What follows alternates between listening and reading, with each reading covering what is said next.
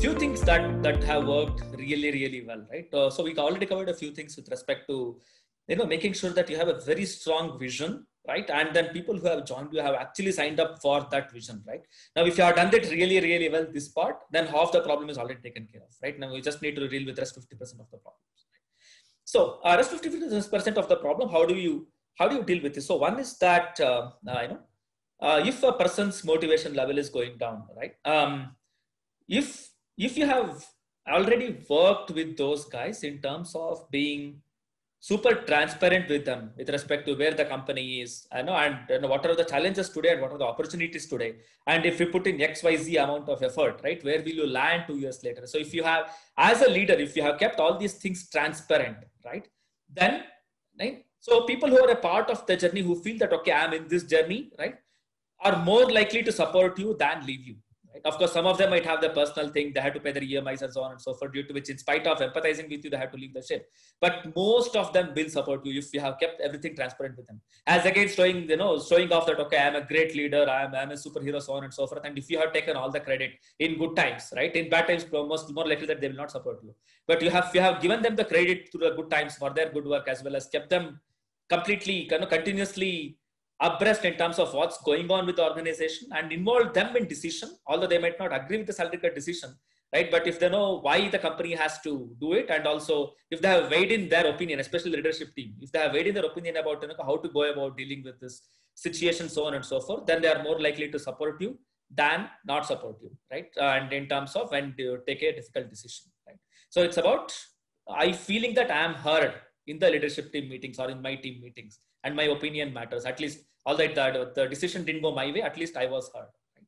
so that is the that is the first aspect of things. Second aspect you know people go through their ups and downs throughout right? And irrespective of the crisis situations and stuff like that there are times when good employees go through bad phase and then more, their, their motivation level goes down their performance level goes down and so on and so forth right?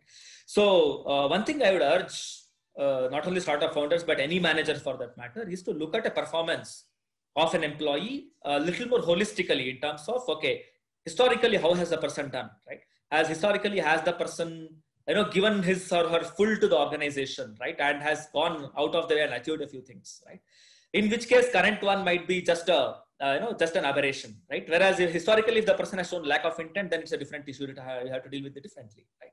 So always look at a performance in the context of historical thing and think of the employee and employer relationship as a long-term one, in which case everybody will go through ups and downs, right? Uh, so females will go through their you know, maternity cycles, you know, people go through abortions, divorces and whatnot, right? And miscarriages, whatnot. I have seen a lot of things happening with my team members, right? But eventually, uh, if you know that the person is really committed, then you should be able to give that give that benefit of doubt to him or her. So that's but what matters is have you given enough feedback so that the fact that the other person is not performing right now, it doesn't come as a surprise. And in case you have to take the decision of letting that person go or whatever, make sure that the decision doesn't come as a surprise. So continuous feedback is the key, right? That's the first mantra. Second mantra is have you solicited feedback as a leader, right? A lot of leaders think that they are right, right? And the other person is wrong. Okay, you are, you are not performing. Okay, it's your problem, right? And you have to figure it out. And, and they're also upfront in giving feedback, but they are not as upfront in soliciting feedback and it's actually true that 75% of the cases you know people don't leave organizations but leave managers right?